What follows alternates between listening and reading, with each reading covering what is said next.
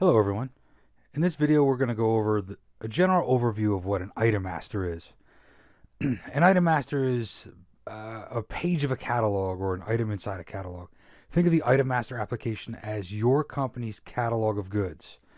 So everything that's uh, in your company that you would track, whether it's uh, O-rings, seals, gaskets, nuts, bolts, uh, paper, staplers, what have you uh, all the way up to engines and, and cars and uh, milling machines and lathes and bulldozers, soup to nuts, everything inside your, your organization that you're going to be tracking. This would be the this application, the Item Master application, would be the catalog of all of that. And we'll get into the, the how it all builds and, and works together, but Right now, I just want to go over the general overview of the item tab, which is the, the main main tab for the item master application. This is your catalog page, if you will.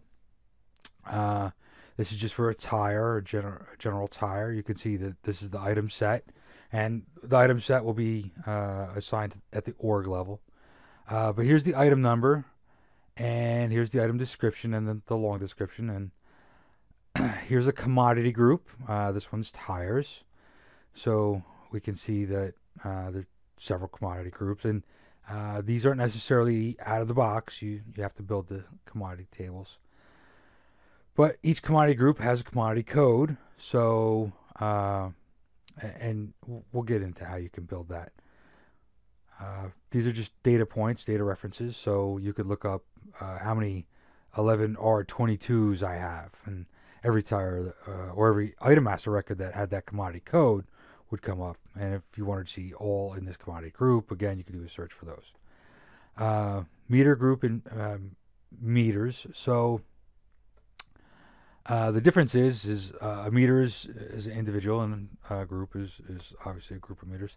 But by clicking this rotating item, and I'll get into what that is in a second, now you can assign a meter group uh, you can't assign a meter group unless this is marked rotating. Uh, see, I uncheck it and we go back to a singular meter. we'll get into that in a second. Uh, there's lot type, and you'll notice uh, when I check rotating, lot type goes away. Uh, rotating means is this a uh, is this an item master that's going to be associated with an asset? So the the concept was is you have a pump, and that pump gets rotated uh, off the assembly line and you rotate a, uh, a separate pump uh, into the assembly line. So the one that you rotated out gets maintained, uh, uh, reser- uh, remanufactured, reserviced, whatever, and then put back into rotation. this is a really good thing to use inside your company. We'll get into more. and I covered a little bit on the assets. But by unchecking that, you're saying that this item master is not for an asset. So now we can choose whether it's lotted or not. We can set a maximum quantity issued, and that's uh, at any given period of time. Order unit, uh, you can see this table. Uh, you can have, uh, you could buy it by the roll and issue it out in feet or inches. You could buy it by the gallon, and then uh, I'm sure there's something less than a pint. You could issue it by a pint. You buy a box and then do an each. Now, this is the order unit. This is the unit that you order it in uh, or purchase it in. This is the issue unit, right? So just because you bought it by the pound doesn't mean that you're going to issue it by the pound. Uh, and so they could be different. Now, if they are different, then you also have to uh, start working with conversion factors. So if you bought a roll and you're going to issue it in inches or in feet, well, then you got to say how many how many feet are on that roll. Uh, you know, so if I if it's hundred feet, so then your conversion would be 101. uh, MSDS. This is just for an MSDS number, or some people uh, or some organizations they'll put a location in here or page number uh, for an MSDS booklet. Receipt tolerance. This is the allowable receipt tolerance for receiving goods in.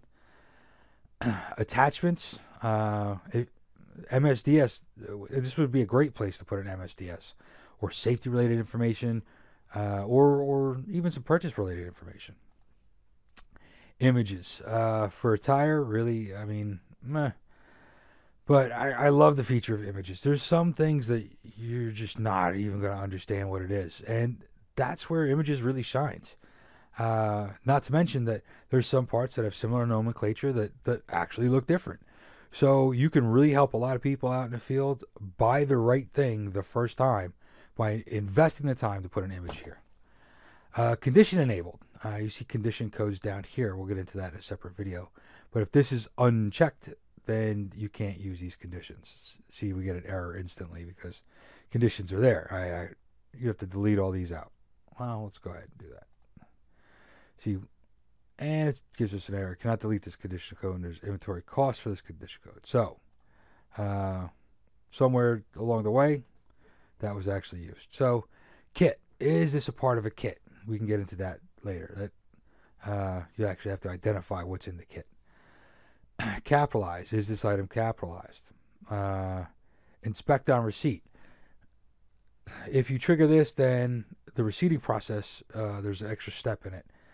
Uh, add as a spare part. If you hit this checkbox, then when you start looking up uh, like a work order, you want to say select available spare parts. This will be this item will be flagged and, and show up in that in that query uh, attached parent on issue.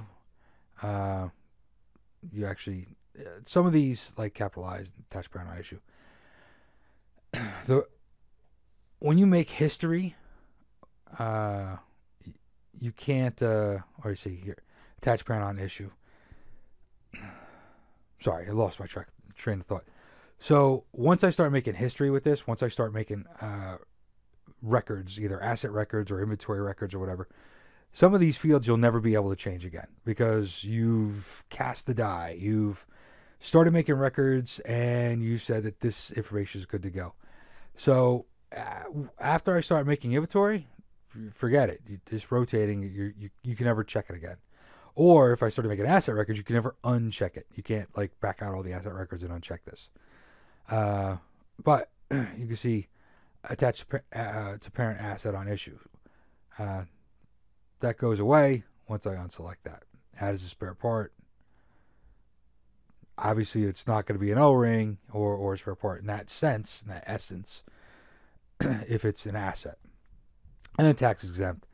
Uh, that'll flag for uh, POs, receiving, and invoicing. Uh, and, and the last I'll get into is alternate items.